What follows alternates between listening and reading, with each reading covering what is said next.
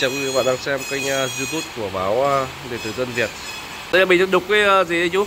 tán tùng Tán tùng à? À Chú, chú làm bên lâu chưa? mấy tháng rồi Ừ. Đây mà chú mình tiện bằng tay đúng không? hả Mình tiện bằng tay đúng không? ờ Thế được tay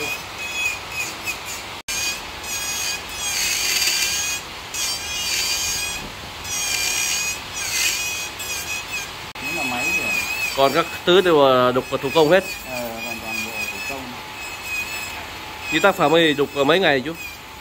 cái này tác phẩm này à, làm cả tuần À Một ngày chú đục làm mấy tiếng? làm là 8 tiếng 8 tiếng là về đúng không? ờ Đây thì trả lương thế như thế nào?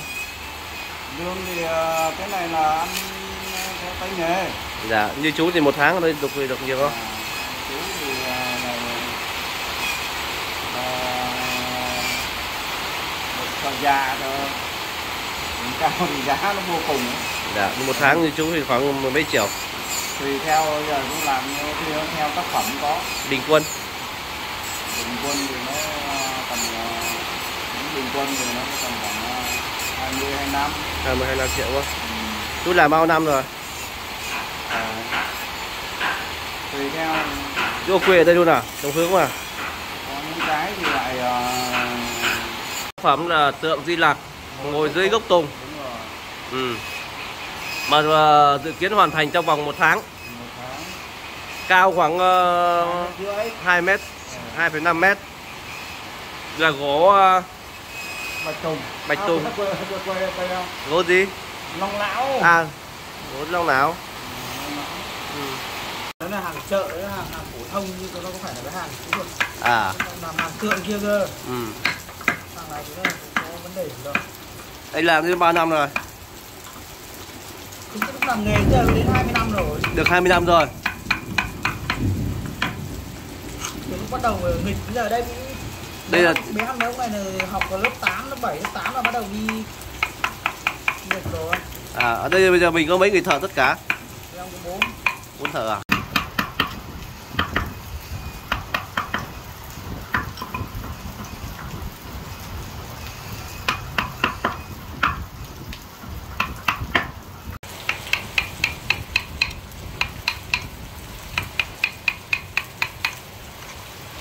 này là mấy cái hàng nó đơn giản Đây là làm ờ, làm tủ à?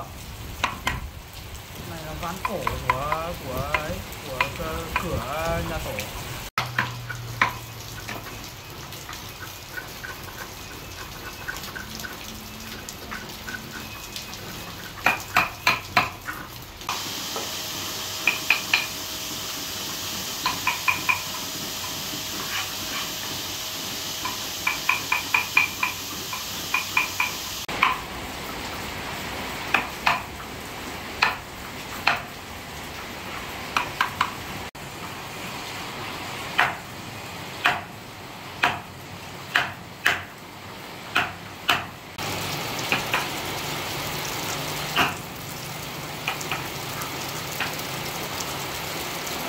Nhà giáp với chú nhà đúng không?